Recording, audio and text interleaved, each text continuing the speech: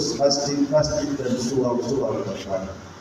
Kita lakukan semua ini tuan-tuan bukan untuk mendapat nama dan pujian tidak sama sekali, tetapi sebagai perkara untuk kita menuju ke tempat yang kekal abadi.